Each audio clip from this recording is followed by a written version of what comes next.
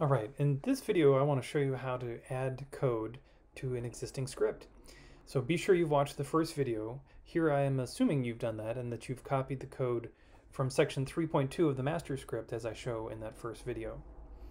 So for convenience, I've put the two scripts, the one that I'm building and the master script, in two different tabs in the same browser. Here's my training script that I'm building, here's the master. So if I want to work on section 3.3, right, right now in section, in my own training script, I'm up to section 3.2. Um, I can simply go to the end of that, add a little bit of space, switch back to the main script.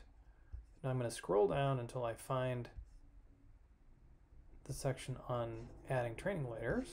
There we go, section 3.3. So simply select all of that code, copy it using keystrokes, and add it to the bottom of my script. Be sure to save it. You'll notice that when it's saved, the little asterisk next to the file name goes away, and I can run it. So this will take some time to run, but as it runs, it'll load up the imagery and then it will add the points on top of it.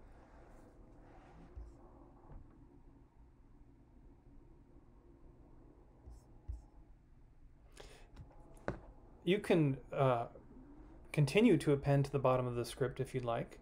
Later on in the tutorial, you may want to move to a new script and focus on just one type of classifier, for example.